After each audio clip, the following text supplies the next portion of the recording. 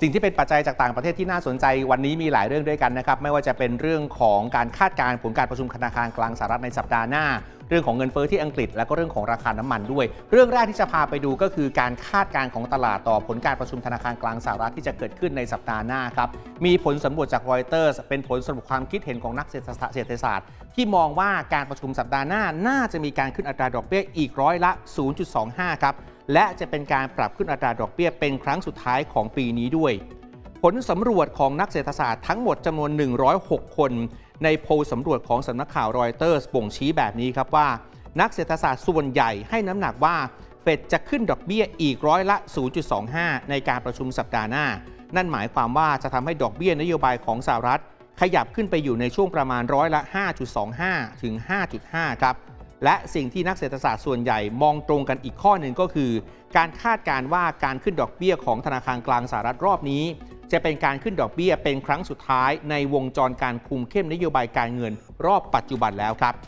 มุมมองของนักเศรษฐศาสตร์ส่วนใหญ่เกิดขึ้น หลังจากที่เราเห็นอัตราเงินเฟอ้อของสหรัฐกำลังลดลงอย่างต่อเนื่องโดยที่ดัชนีราคาผู้บริโภคทั่วไปหรือว่า headline CPI ของเดือนมิถุนายนของสหรัฐนั้น ชะลอตัวลงมาอยู่ที่ร้อยละ 3 ครับ จากที่เดือนก่อนหน้าอยู่ที่ร้อยละ 4 ประเด็นนี้เองครับยังทำให้บรรดาผู้สังเกตการในตลาด Wall Street คาดการต่อไปด้วยว่าอัตราเงินเฟ้อจะอยู่ในระดับที่สามารถควบคุมได้ในเร็วๆนี้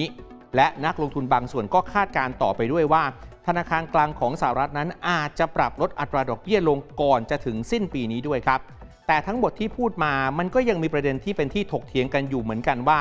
ธนาคารกลางของสหรัฐจำเป็นหรือไม่ ที่จะต้องเพิ่มอัตราดอกเบี้ยมากขึ้นไปอีก เพื่อให้มั่นใจว่าภาวะเงินเฟอ้อที่ลดลงนั้น จะดำเนินต่อไป หรือมันอาจจะเสี่ยงต่อการสร้างความเสียหายต่อระบบเศรษฐกิจ โดยไม่จำเป็นถ้าหากว่าเฟดยังคงเดินหน้า และปรับขึ้นอัตราดอกเบี้ยมากไปกว่านี้หนึ่งในนั้นก็คือนักกลยุทธ์ด้านอัตราดอกเบี้ยของสหรัฐนะครับ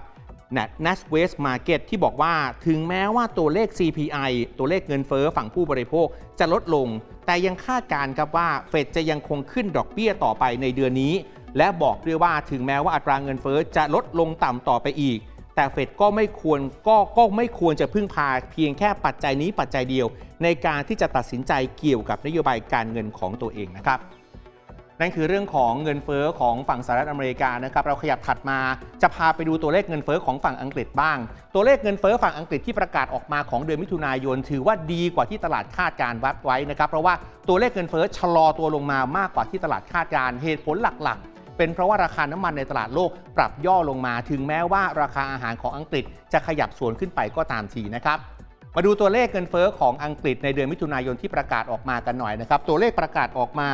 โดยสำนักงานสถิติแห่งชาติของอังกฤษหรือ ONS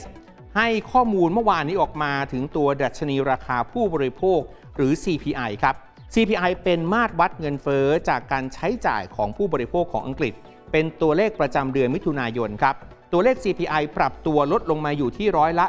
7.9 เทียบเป็นรายปี ถือว่าเป็นตัวเลขที่ต่ำกว่าที่นักวิเคราะห์คาดการไว้ที่ร้อยละ 8.2 แล้วมันก็ยังต่ำกว่าตัวเลขเดือนก่อนหน้า ซึ่งตัวเลข CPI เดือนที่แล้วอยู่ที่ร้อยละ 8.7 ลดลงอย่างชัดเจนครับ ตัวเลข CPI ที่ประกาศออกมายังถือว่าสูงกว่าเป้าหมายเงินเฟ้อที่ร้อยละ 2 ของธนาคารของอังกฤษอยู่มาก คือลดลงมาแล้วก็จริงนะครับ แต่ยังห่างไกลมากกับเป้าหมายของธนาคารกลางของอังกฤษ ส่วนตัวดัชนี CPI พื้นฐาน ซึ่งอันนี้จะไม่นับรวมราคาในหมวดพลังงาน อาหาร แอลกอฮอล์และก็บุหรี่ ซึ่งมีความผันผวน ตัวเลขที่ประกาศออกมาอยู่ที่ร้อยละ 6.9 อันนี้เทียบเป็นรายปีแล้วจะพบว่าลดลงมาต่ำกว่าร้อยละ 7.1 ในเดือนก่อนหน้าเหมือนกันครับสำหรับปัจจัยที่ทำให้ตัวดัชนีอัตราเงินเฟอ้อตัว CPI รายปีของอังกฤษชะลอตัวลงมาแล้ว หลักๆ ก็คือตัวราคาเชื้อเพลิงรถยนต์ที่ปรับตัวลดลงครับ ซึ่งมันจะสวนทางกันอย่างที่เรียนตอนต้นราคาอาหารของอังกฤษเพิ่มมากขึ้น ขณะที่ข้อมูลเงินเฟอ้อทั่วไปที่ชะลอตัวลง ถือว่าสอดคล้องกันนะครับกับอัตรางเงินเฟอ้อจากราคาของชำในอังกฤษที่ปรับตัวลงมาติดต่อกันเป็นเดือนที่ 4 แล้วครับ มีข้อมูลจากบริษัทวิจัยการตลาดชื่อชื่อว่าคันชาที่บอกว่า อัตราเงินเฟอ้อจากราคาของชำในเดือนกรกฎาคม ลดลงมาอยู่ที่ร้อยละ 14.9 ในช่วง 1 เดือนที่ผ่านมา ซึ่งก็ถือว่าลดลงจากร้อยละ 16.5 ในเดือนก่อนหน้าเหมือนกันครับ ถือว่าเป็นการปรับตัวลงมามากที่สุดนับตั้งแต่ตัวเลขเงินเฟอ้อของอังกฤษพพุ่งแตะระดับสูงสุดต่อเดือนมีนาคมที่ผ่านมา ซึ่งสัญญาณบวกทั้งหมดที่พูดมาเหล่านี้ครับ เป็นตัวช่วยบรรเทาภาระด้านการเงินของผู้บริโภคได้เล็กน้อย หลังจากที่ต้องเจอกับปัญหาราคาสินค้าพุ่งสูงขึ้นมากในช่วงระยะเวลาที่ผ่านมานะครับ ถัดมาพาคุณผู้ชมไปดูเรื่องของราคาพลังงานกันบ้างนนะครับ ข้อมูลจากทาง IEA ประเมินว่าความต้องการใช้น้ำมันทั่วโลกปีนี้ น่าจะชะลอตัวลงครับ เหตุผลหลัก ๆ 2 ข้อที่ระบุไว้แบบนั้นก็คือข้อแรกคือความกังวลกับภาวะเศรษฐกิจโลกที่อาจจะชะลอตัวลง และเรื่องที่ 2 ก็คือวิกฤตพลังงาน แต่ประเมินว่าดีมานความต้องการใช้น้ำมันทั่วโลกปีหน้า น่าจะกลับมาอยู่ในจุดที่ดีขึ้นกว่าเดิมครับ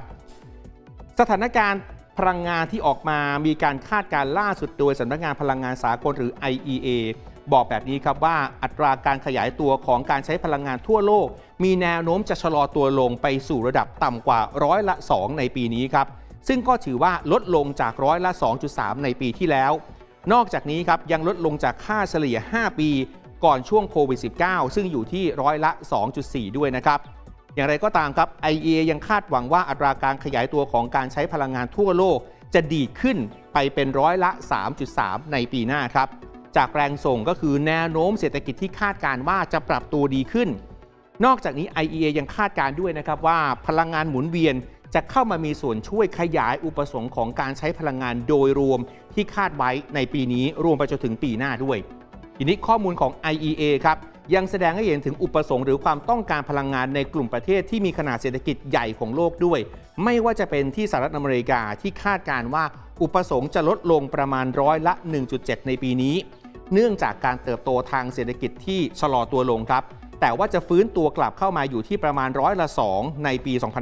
2567 ส่วนไปดูอีกหนึ่งประเทศยักษ์ใหญ่คือความต้องการพลังงานของจีนกันบ้าง IEA คาดการว่าความต้องการพลังงานของจีนจะเพิ่มขึ้น ร้อยละ 5.3 ในปีนี้ ปีหน้าจะเพิ่มขึ้นที่ร้อยละ 5.1 ครับ เป็นการเพิ่มขึ้นต่อเนื่องจากปี 2565 ซึ่งตอนนั้นอยู่ที่ร้อยละ 3.7 ส่วนอุปสงค์ไฟฟ้าของอินเดียก็คาดว่าจะเพิ่มมากขึ้นร้อยละ 6.8 ในปีนี้ ส่วนปี 2567 จะขยับเพิ่มขึ้นไปที่ร้อยละ 6.1 คาดการว่าจะแซงหน้าทั้งญี่ปุ่นและเกาหลีรวมกันด้วยนะครับ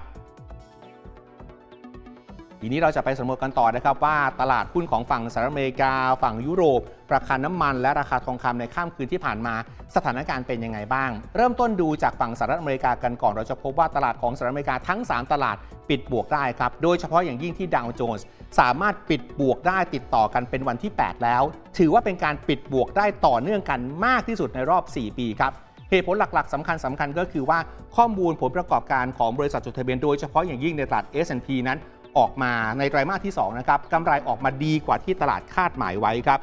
นอกจากนี้อีกด้านหนึ่งครับตลาดมีปัจจัยหนุนจากการคาดการณ์ที่ว่าเฟดใกล้ที่จะยุติ วงจรการขึ้นอัตราดอกเบี้ย หลังจากที่ตัวเลขค้าปลีก ตัวดัชนีราคาผู้บริโภคหรือ CPI ดัชนีราคาผู้ผลิตหรือ PPI ออกมาต่ำกว่าคาด นักวิเคราะห์หลาย ๆ สำนักเริ่มฟันธงแล้วนะครับว่าเฟดน่าจะขึ้นดอกเบี้ยอีกร้อยละ 0.25 ตามที่เรียนตอนต้น ในการประชุมสัปดาห์หน้า ซึ่งก็คาดการต่อไปอีกนะครับว่า น่าจะเป็นการขึ้นดอกเบี้ยเป็นครั้งสุดท้ายของปีนี้ เราก็เลยเห็นดาวโจนส์ครับปิดบวกขึ้นไปได้ประมาณร้อยละ 0.31 ในขณะที่ S&P 500 ปิดบวกขึ้นไปได้ร้อยละ 0.24 และ NASDAQ บวกขึ้นมาได้ประมาณร้อยละ 0.03 นะครับ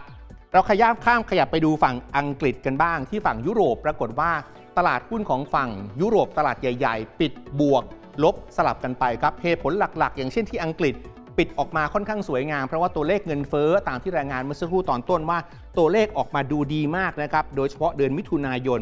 ตัวเลขทั้งชะลอตัวลงมากกว่าที่คาดหมายไว้ เพิ่มขึ้นในอัตราที่ต่ำที่สุดในรอบกว่าหนึ่งปี ทั้งหมดนี้มันเป็นสิ่งที่ทำให้ตลาดคาดหมายว่า น่าจะมีความหวังว่าอัตราดอกเบี้ยในอังกฤษ อาจจะแตะระดับสูงสุดไปแล้วครับแล้วนักลงทุนก็มุ่งความสนใจไป รอการประกาศตัวเลขสำคัญสำคัญ ข้อมูลทางเศรษฐกิจ ผลประกอบการของบริษัทจดทะเบียน การประชุมของเฟดและ ECB ที่จะเกิดขึ้นในสัปดาห์หน้า ตัวเลขที่เราเห็นก็คือฟุตซี่ร้อยนะครับของอังกฤษบวกขึ้นมาได้ประมาณร้อยละ 1.8 CAC 40 ฝรั่งเศสบวกขึ้นมาได้ร้อยละ 0.11 แล้วก็ DAX ของเยอรมันย่อลงมาเล็กน้อยประมาณร้อยละ 0. ประมาณสักร้อยละ 0.10 นะครับ ไปต่อกันที่ราคาน้ำมันกันบ้างคุณผู้ชมครับ ตลาดสัญญาน้ำมันดิบนั้นค่อนข้างผันผวนนะครับคุณผู้ชม ช่วงแรก WTI เนี่ยพุ่งขึ้นทะลุระดับ 76 ดอลลาร์ต่อบาร์เรล เพราะว่ามีแรงหนุนมาจากข้อมูลที่ออกมาจากสำนักงานสารสนเทศ ด้านการพลังงานของรัฐบาลสหรัฐ หรือ EIA ที่บอกเอาไว้ว่า สต็อกน้ำมันดิบนั้นลดลงไปสัปดาห์ที่แล้วถึงประมาณ 700,000 บาร์เรลครับ นอกจากนี้นักลงทุนยังมีความคาดหวังด้วยว่า การออกมาตรการกระตุ้นเศรษฐกิจของจีน และแนวโน้มที่ธนาคารกลางของสหรัฐ ใกล้ที่จะยุติการวงจรการขึ้นอัตราดอกเบี้ย น่าจะมีมากขึ้นครับสองปัจจัยนี้ทั้งจากฝั่งจีนและฝั่งสหรัฐ เป็นปัจจัยหนุนทำให้กิจกรรมทางเศรษฐกิจ และความต้องการใช้น้ำมันน่าจะเพิ่มมากขึ้น แต่แรงขยับขับเคลื่อนไปก็ไปได้ไม่ไกลครับ เพราะว่ามีแรงเทขายทำกำไรออกมา แล้วการที่ค่าเงินดอลลาร์สหรัฐแข็งค่า ก็เป็นอีกหนึ่งปัจจัยที่ทำให้การซื้อขายสัญญาณน้ำมันดิบนั้น ดูจะไปไหนได้ไม่ไกลมากครับ ตัวเลขสัญญาณน้ำมันดิบ WTI ส่งมอบเดือนสิงหาคมก็เลยลดลงมา 40 เซนหรือประมาณร้อยละ 0.5 ปิดไป 75 เหรียญ 35 เซนต์ต่อบาร์เรล ส่วนสัญญาณน้ำมันดิบเบรนท์ส่งมอบเดือนกันยายน ลดลงประมาณ 17 เซนหรือประมาณร้อยละ 0.2 ปิดที่ 79 เหรียญ 46 เซนต์ต่อบาร์เรลนะครับ มาดูสัญญาทองคำบ้างนะครับ ราคาก็ผันผวนระหว่างวันนะครับ มีแรงกดดันจากแรงเทขาย ประกอบกับการแข่งค่าของเงินดอลลาร์สหรัฐนะครับ สุดท้ายสิ้นวันแล้วราคาไม่เปลี่ยนแปลงจากวันก่อนหน้า แต่ก็ยังเป็นระดับที่สูงสุดในรอบ 6 สัปดาห์อยู่ดี ตอนนี้สิ่งที่นักลงทุนจับตาแล้วก็คือข้อมูลเศรษฐกิจของสหรัฐ และผลการประชุมธนาคารกลางสหรัฐที่จะประกาศออกมาสัปดาห์หน้าครับ สัญญาทองคำตลาดโคมเม็กซ์ส่งมอบเดือนสิงหาคมปิดอยู่ที่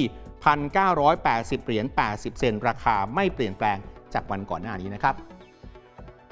ส่วนหุ้นไทยเมื่อวานนี้อย่างที่เรียนตอนต้นครับเราถูกปกคลุมด้วยปัจจัยทางการเมือง โดยเฉพาะอย่างยิ่งหลังจากที่สารรัฐธรรมนูญ มีคำสั่งให้คุณพิธาหยุดการปฏิบัติหน้าที่สส ตอนนั้นราคาหุ้นอาจจะขยับขึ้นมาบวกได้บ้างเล็กน้อย แต่ว่าก็เจอแรงเทขายทำกำไรระหว่างวันเหมือนกันนะครับ สุดท้ายเซ็ตอินดี x บ้านเราปิดที่ 1,536.64 จุด บวกขึ้นมาได้เล็กน้อยเท่านั้นนะครับประมาณ 1.34 จุด หรือว่าประมาณร้อยละ 0.09 มูลค่าการซื้อขายก็ไม่ได้ถือว่าหนาแน่นคึกคักมากนัก 51,751 ล้านบาทนะครับ โดยที่หลักทรัพย์ที่มีมูลค่าการซื้อขายสูงสุด 5 อันดับหลักทรัพย์เดี๋ยวเราไปดูพร้อมกันนะครับมี CPO ที่ 62 บาท 75 สตางค์ ย่อลงมาร้อยละ 0.4 นะครับ ปตท 34 บาท 50 ย่อลงมาร้อยละ 0.72 นะครับ บ้านปู 9 บาท 45 บวกขึ้นไปได้ถึงร้อยละ 3.28 AOT ครับ 71 บาท 75 สตางค์บวกขึ้นไปได้ร้อยละ 0.35 และก็ KTB ธนาคารกรุงไทย 20 บาท 10 สตางค์ย่อลงมาเล็กน้อยประมาณร้อยละ 0.99 นะครับนั่นเป็นตัวเลขของเมื่อวานนี้นะครับ วันนี้ก็ต้องรอดูอีกไม่กี่นาทีเราจะได้ทราบว่าตลาดหุ้นไทยจะ react อย่างไร กับสถานการณ์ทางการเมืองที่เกิดขึ้นในปัจจุบันนี้ ปิดท้ายช่วงนี้พาไปดูตลาดหุ้นแถบเอเชียกันหน่อยครับว่าจะมีความเคลื่อนไหวมากน้อยแค่ไหนอย่างไรบ้างนะครับนิกเกอิของญี่ปุ่น ย่อลงมานิดเดียวนะครับประมาณร้อยละ 0.96ฮั่งเส็งของฮ่องกงบวกขึ้นไปได้ประมาณร้อยละ 0.74 เซี่ยงไฮ้ Composite ของจีนเลาะย่อลงมานิดเดียวครับประมาณร้อยละ 0.02 คอสปีของเกาหลีใต้นะครับบวกขึ้นไปได้ร้อยละ 0.09 แล้วก็ Straits Times ของสิงคโปร์ย่อลงมาเล็กน้อยร้อยละ 0.08 นะครับ